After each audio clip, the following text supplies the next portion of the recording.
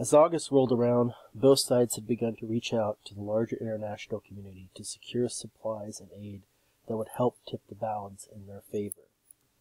The world leader at the time, Britain, desired to keep Italy as an ally in the Stresa front, and was also under a conservative government at the time who was horrified at the attacks on the Catholic Church and traditional property rights by the Republican government of Spain. They saw both sides as committing horrible wartime atrocities, but ultimately didn't want to see a communist Spain, and therefore tried to remain neutral or in rhetoric leaned towards the nationalist. In July, Prime Minister Giral of Spain had reached out to the French Prime Minister Leon Blum for help, appealing to him as a fellow socialist. Initially, Blum agreed to help and send planes and equipment, but right-wing groups in France objected, as did the British. By the end of, the, of July, the French government announced it could not help, although some who remained sympathetic to the, the struggle in Spain went ahead and sent planes anyway, around 70 aircraft to Barcelona. This eventually led to a formal organization being established called the Non-Intervention Committee, with Britain and France taking the lead. They claimed to help stop arms from reaching the Spanish conflict, but arms still made it through as checks were not really that strict and much of the supplies to the Nationalists could come overland through Germany. On September 9th, Britain and France officially signed the Non-Intervention Pact, prohibiting the sale of weapons to the conflict in Spain. Germany and Italy also signed, although they simply continued to ignore it and supply Franco. The U.S. was still fairly isolationist at the point and did not join the Non-Intervention Committee, but did remain neutral in the conflict. FDR refused to admit refugees from Spain many of whom went to the Soviet Union instead.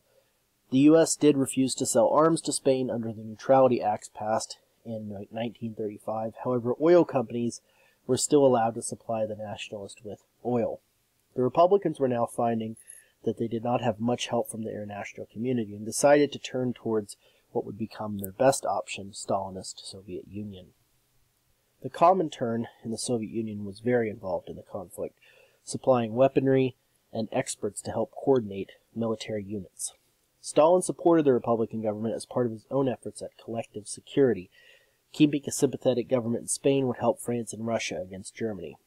Stalin did not have the same geographic advantage, though, as Hitler or Mussolini when it came to supplying aid, and in other ways Stalin was also not the best ally. For instance, while Hitler and Mussolini allowed Franco aid on credit, Stalin made the Republican government pay him in gold reserves up front.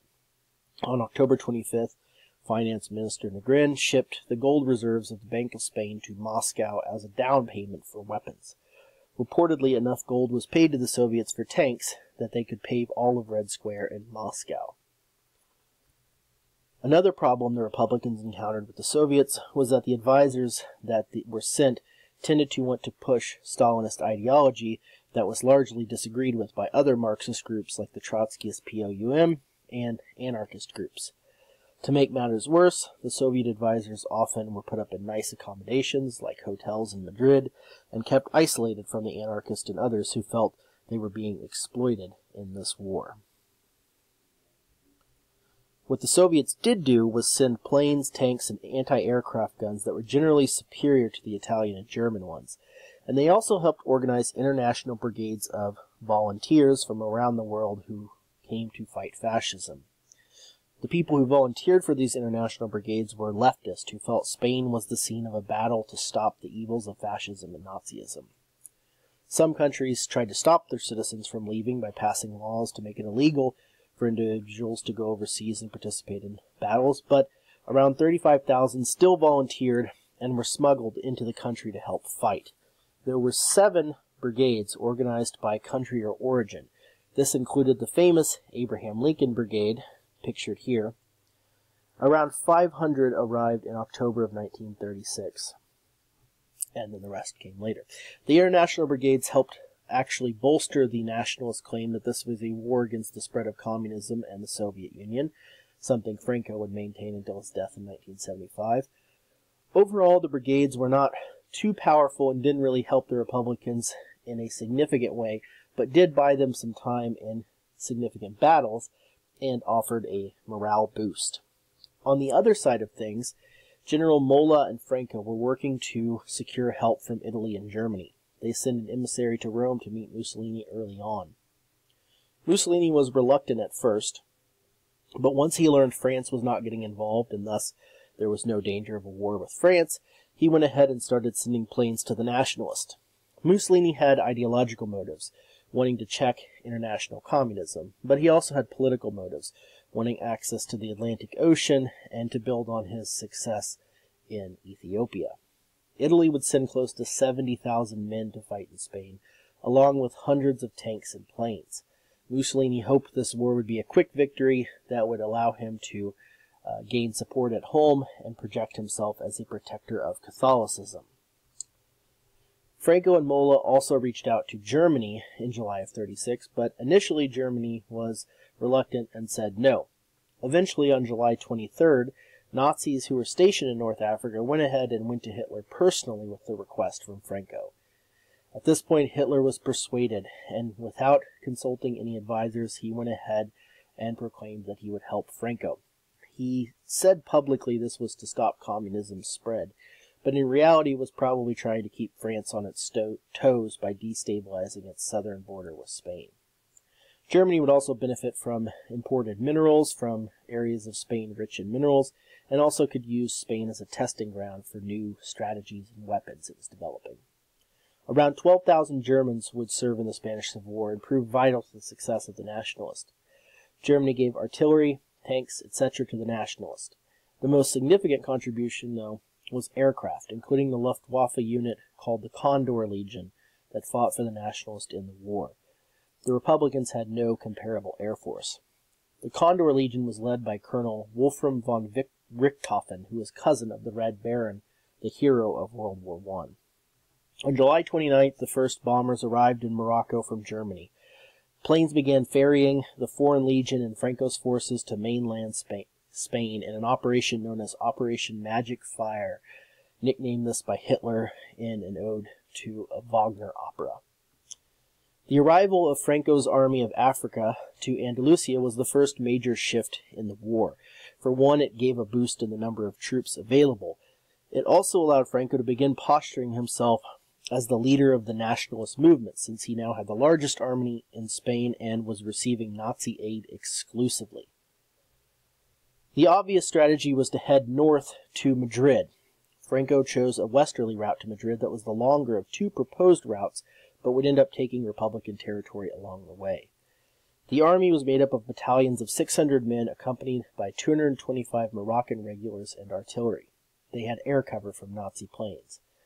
They moved at an incredible speed, covering 200 miles in under a week. Along the way, they destroyed local militias and killed any captured leaders. News of their terror spread, and masses of people fled areas in their path.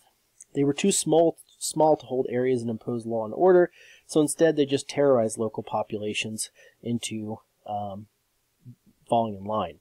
They also took revenge against anyone they saw as perpetuating an atrocity against the church. The legion and Moroccan soldiers became a byword for cruelty. Franco saw his march through western Spain as part of a second Reconquista, similar to when Catholic defenders had driven out the Moors 400 years earlier. All of the bloodshed and violence, he said, was justified in the name of saving Spain from alien forces. He had failed to see the irony in his use of Muslim regulars from Morocco in this conquest and metaphor. Franco next marched towards Madrid, taking the town of Talavera de Reina in a day on September 2nd. Madrid was now less than 70 miles away. At this point, though, Franco decided instead of going to, to Madrid, he would go to Toledo and help out the besieged Colonel Moscardo in Alcazar. He saw this as a morale boosting victory. On September 27, 1936, his army arrived, took Toledo from the Republicans, and Franco proclaimed that this was the work of God, that God had chosen him to help the Spanish people. On September 4th, Largo Caballero had become the head of the Republican government. Nicknamed the Spanish Lenin, he had taken part in the Asturias uprising in 1934. His cabinet was also made up of socialists like Prieto and Negrin. Caballero was both prime minister and minister of war. Azana remained president. The Republicans struggled to keep together their fragile coalition. Caballero thought maybe if he organized the units into what would be called the Popular Army, uh, instead of various militias, it would help out.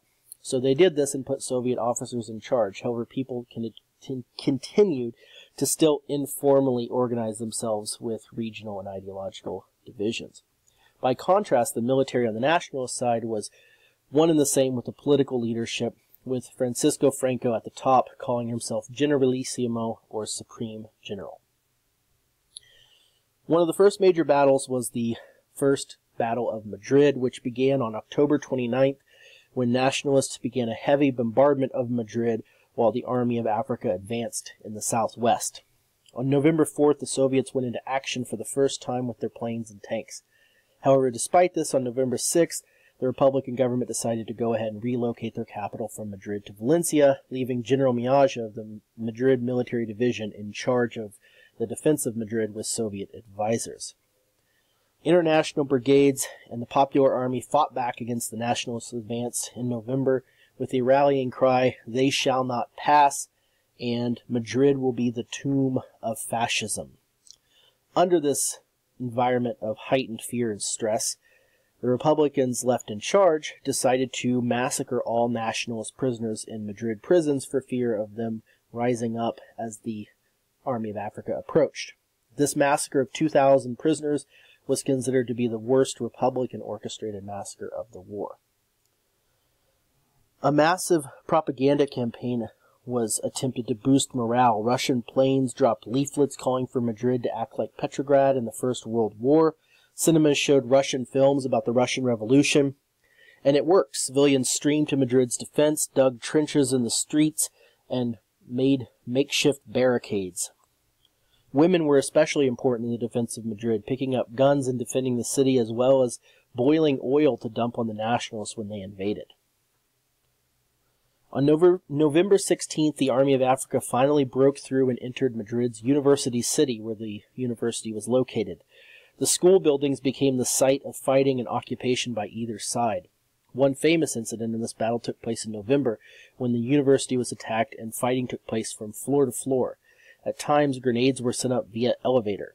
During this fight, books were used as barriers. At one point, the Nationalists ate experimental rabbits and sheep, and 50 of them died from this, not realizing those animals had been dosed with chemicals. Don't tell Mrs. Gray with Zemi. Meanwhile, from November 19th to the 22nd, the Condor Legion bombed the city in the most intense bombings of the war thus far. The Nationalists uh, bombarded Madrid, attempting to break Republican control. The Republicans used cinema lights as searchlights and instituted a block blackout by shooting at any windows with candles lit and painting over street lamps with dark colors. People slept in the metro or cellars.